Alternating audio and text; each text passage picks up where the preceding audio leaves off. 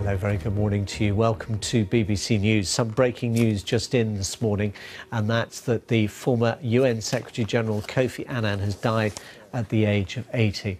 Mr. Annan, who was a Ghanaian by birth, had held the post of Secretary General of the UN for 10 years until the end of December 2006. He was the first uh, uh, uh, uh head of the UN from a sub-Saharan African country, having followed the Egyptian Dr. Boutros Boutros-Ghali in the job. He later served as UN Special Envoy for Syria, leading unsuccessful attempts to find a peaceful solution to the civil war there. Mr. Annan won the Nobel Peace Prize in 2001 for his attempts to revitalise the UN. He also famously founded the UN Global Health Fund and campaigned for action against HIV.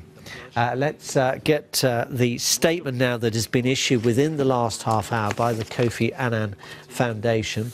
It reports that with immense sadness, uh, the family of Kofi Annan and the Kofi Annan Foundation has announced that the former Secretary General of the United Nations and Nobel Peace Laureate passed away peacefully on Saturday, the 18th of August, after a short illness. His wife and their children, uh, three children, were by his side in his final days. Kofi Annan, it goes on to say, was a global statesman and a deeply committed internationalist who fought throughout his life for a fairer and more peaceful world. During a distinguished career and his leadership of the UN, he was an ardent champion of peace, sustainable development, human rights, and the rule of law.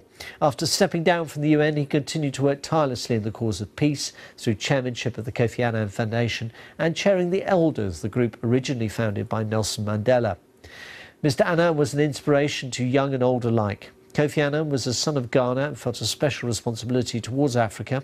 He was particularly committed, the statement says, to African development and deeply engaged in many initiatives, including his chairmanship of the Africa Progress Panel and his early leadership of the Alliance for Green Revolution in Africa. Wherever there was suffering or need, he reached out and touched many people with his deep compassion and empathy.